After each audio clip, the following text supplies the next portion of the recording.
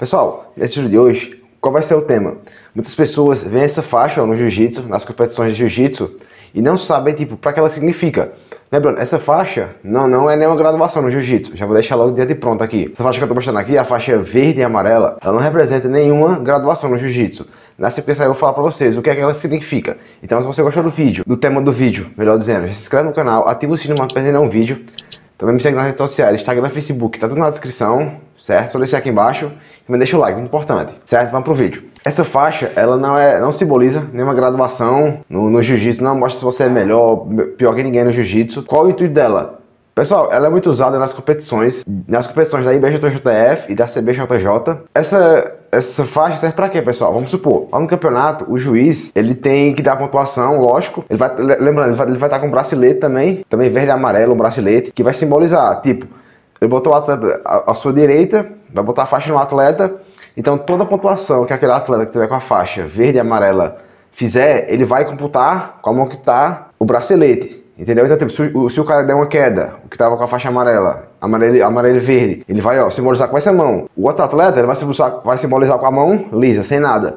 Então, isso é basicamente para o juiz, o juiz, os mesários, quem está assistindo também, ter uma noção, porque, tipo, imagina, se o juiz não tem um parâmetro para diferenciar, você já facilita ele, porque, não, esse cara fez os dois pontos, tá com a faixa verde e amarela, já levanta aqui. Então ele tem um controle melhor. Até para os mesários também computar os pontos, não se confundir. Fica, fica mais, mais certo. Lembrando, pessoal, se, se os atletas tiverem de kimono diferente, no caso, tipo, sempre o kimono azul fica à direita, então ele vai estar com a. com a. Por até não usar, vai a critério. É mais um ponto, vai a critério do juiz. Se ele não quiser usar o bracelete, beleza, ele pode botar o atleta de kimono, vamos supor. Tem dois atletas de kimono azul e branco. O de branco vai ficar à esquerda e o azul vai ficar à direita. Então o juiz já vai, não vai precisar dar, dar, igual eu falei, é opcional. Se ele quiser, ele não usa faixa. Vamos supor, se tem dois atletas diferentes, de kimono branco e azul, ele bota sempre o azul à direita. Se for um kimono branco e preto, ele bota o preto à direita. Então, fica a critério dele. Ele usa muito quando tem dois atletas de kimono igual. Aí ele usa esse critério da faixa. E mais um atento. Já, já vou deixar aqui claro também, tirar uma dúvida de vocês. E muitas pessoas, eu acho que tem essa dúvida. Quais são os kimonos que, que você pode usar nas competições? Branco, azul e preto. Lembrando, paletó e calça. Não pode tipo, usar o paletó preto e a calça branca. Não pode. Tem que ser os dois da mesma cor. Pra poder... Eu até fiz um vídeo falando sobre isso também, como botar os pés. Tá tudo na descrição aqui embaixo, eu vou botar. Todos esses vídeos.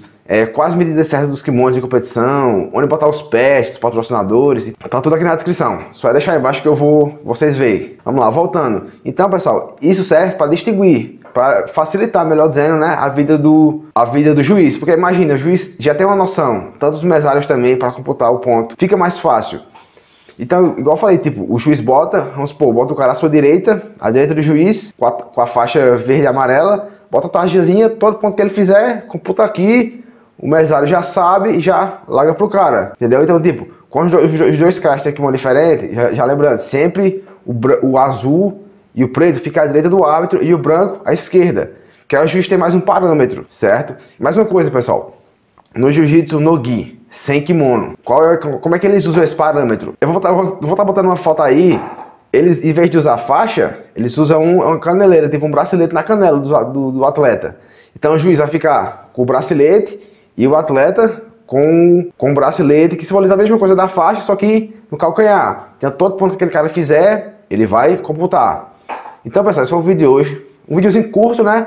Mas bem explicativo, porque muitas pessoas, tipo, estão começando agora a entrar no jiu-jitsu e não sabem isso. E é bom saber. Por quê? Porque ela é usada nas competições para diferenciar os atletas, quando tiver de mesmo kimono.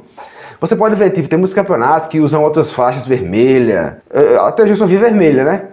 Mas, tipo, não tem nada a ver com graduação. Então, se você vê um cara, tipo, porque quem não sabe, tipo, no jiu-jitsu, é até um ponto bom para falar. Eu fiz um vídeo também, ó, tá aqui na descrição, tá aqui na, nesse link acima, é sobre a graduação. Acima de 16 anos, você vai pegar a faixa branca, azul, roxa, marrom e preta. Aí vem a coral, vermelha e branca, vermelha, mas aí é, essa faixa é bem complicada, por quê? Porque vamos falar do patamar normal, né? Que é até a preta. Essas outras aí são bem. O caldo engrossa bastante. Essas faixas realmente simbolizam a, a graduação. É, contando também os 4 graus em cada faixa sem pegar. E já para a criançada abaixo de 16 anos, você vai pegar qual? Branca, cinza, amarela, laranja e verde. Abaixo de 16 anos, elas vão pegar essas faixas. Então, essas realmente são as faixas de competição de graduação. Essa faixa, igual eu falei, é usado pela IBJJF e SBJJ nos seus campeonatos, para às vezes os dois atletas tiverem um kimono igual, distinguir, facilitar a vida tanto do árbitro como a vida do, do mesário que está assistindo também. Quem está assistindo também já fica mais ciente, pô, se ele levantou essa mão, é pro meu atleta que estava com a faixa, então ele tem uma noção também. Então é bastante importante. Certo, pessoal? Espero ter gostado do vídeo. Lembrando, se inscreve no canal, ajuda muito, certo? Vamos fortalecer aí. Também deixa o like, importante, deixar o like. Só aí embaixo apertar a mãozinha, facilita muito aqui a vida do canal, porque toda vez que você postar um vídeo novo, que eu postar um vídeo novo, melhor dizendo, o YouTube vai te, te recomendar. E também todas as minhas redes sociais, Instagram, Facebook, tá aqui na descrição, só acessa lá. Ver um pouquinho do meu dia a dia dos treinos. E pessoal, mais uma coisa, vai vir uma novidade em breve. Fica ligado aqui no canal que eu vou estar trazendo.